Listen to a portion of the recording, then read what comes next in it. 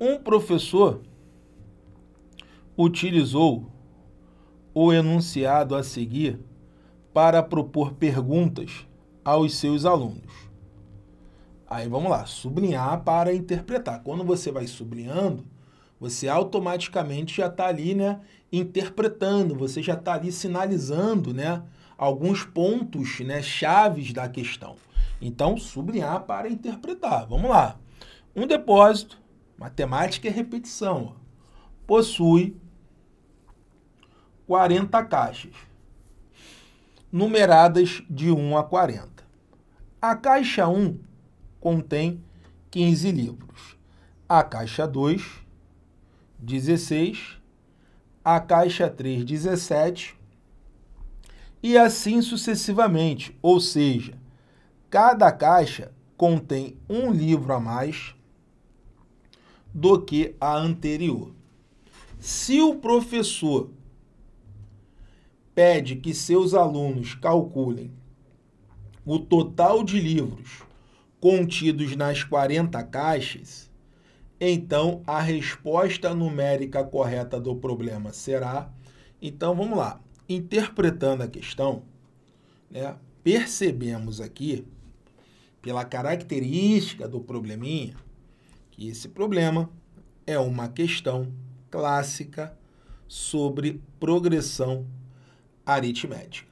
Como é que eu sei né, que esse probleminha aqui, né, que essa sequência numérica que ele está falando aqui, é uma progressão aritmética? Pela definição.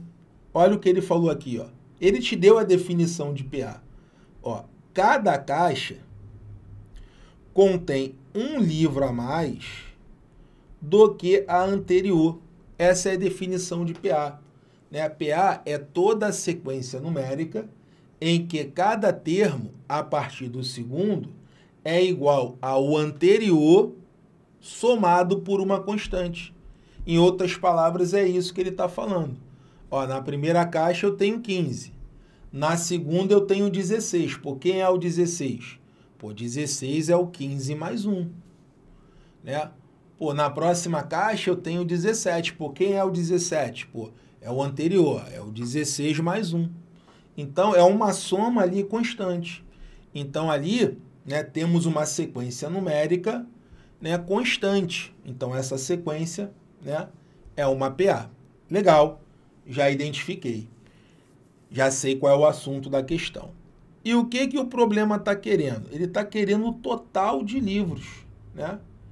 Ele está querendo o total de livros contidos nessas 40, nessas 40 caixas.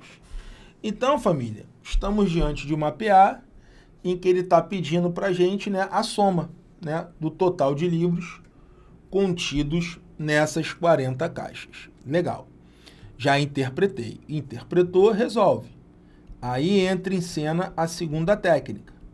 Técnica R. Estudar, revisar e exercitar estudar, revisar e exercitar. Então, de tanto você estudar, revisar e exercitar, é assim que acontece com os nossos alunos, né? O cara já vai bater o olho e já vai saber o que tem que fazer, né? Qual é a forma correta de se resolver essa questão? Pô, para encontrar o total de livros, ó a palavra mágica, total. Para encontrar o total de livros, Marcão, eu tenho que usar a soma da PA. Então, para encontrar o total de livros, eu tenho que usar a soma da PA. Legal. Qual é a formulazinha da soma da PA? Vamos lá. São 40 caixas, né? Então, vamos lá. Soma da PA, que você vai encontrar nos livros. Essa daqui, ó. SN é igual a A1 mais AN que multiplica n sobre 2. Essa é a forma que você vai encontrar nos livros. Né? S40, né? método MPP, soma dos 40, vai ser o primeiro mais o último vezes a metade. Qual é a metade de 40? 20. É a mesma coisa, tá? Soma da PA é o primeiro, mais o último, vezes a metade. Então eu fiz a mesma coisa, ó. soma dos 40 vai ser o primeiro, mais o último, vezes a metade. Qual é a metade de 40? 20. Legal. Já deduzi ali a fórmula. Agora, para matar a questão, eu preciso do primeiro e do último, né? Temos aqui a sequência, né? A sequência é essa daqui, ó. Eu tenho 15 caixas, eu tenho 15 livros na primeira caixa, 16 na segunda, 17 na terceira.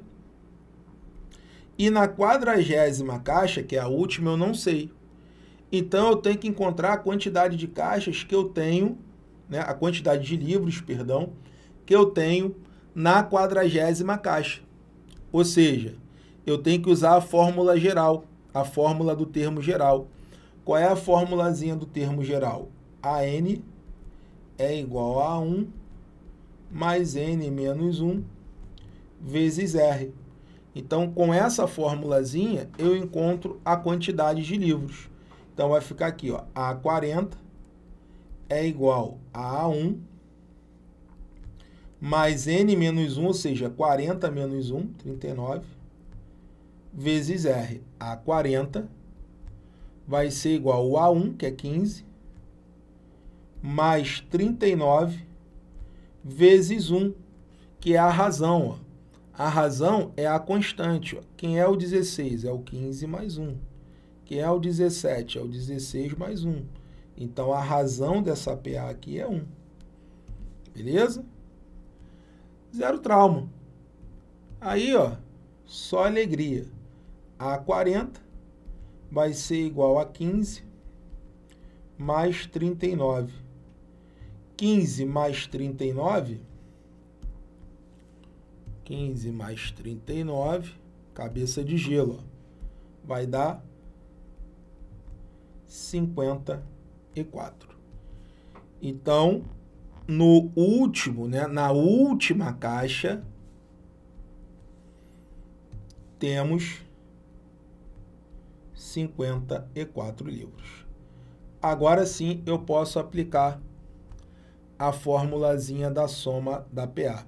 S40 vai ser igual ao primeiro mais o último, 15 mais 54,